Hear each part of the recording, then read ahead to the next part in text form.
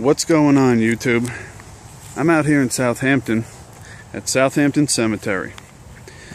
And I'm not here to visit the site of uh, a family member or a friend. What I'm here, the reason I'm here today is because this cemetery happens to be the final resting place for one of the greatest heavyweight champions of all time. William Harrison, Jack Dempsey.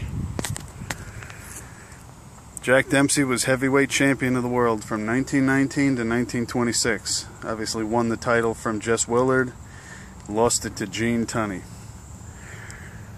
After uh, after his career, you know, he owned one of the biggest restaurants in New York.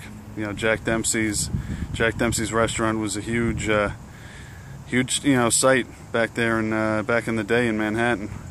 Unfortunately closed down in the late 70s a little while before he passed. As you can see, he was born in 1895, passed in 1983. But uh, definitely one of my favorite champions of all time. And uh, if you don't know that much about him, you can still uh, find documentaries. You can find some of his old fights on YouTube. And uh, I'll tell you, it was a different world back then. Uh, you just watch some of those fights.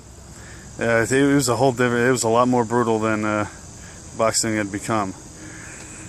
And uh, this is actually, you know, for such a huge name, you know, I mean, it, during the 1920s, this guy was just as big as Babe Ruth. You know, it's definitely a huge name. You know, and this is, you know, fairly modest plot. He actually shares this plot with another family. But anyway, um, yeah, just thought you guys would like to see this. Like I said, this is the final resting place of one of the greatest heavyweight champions of all time. Thank you guys for watching. I'll see you next time.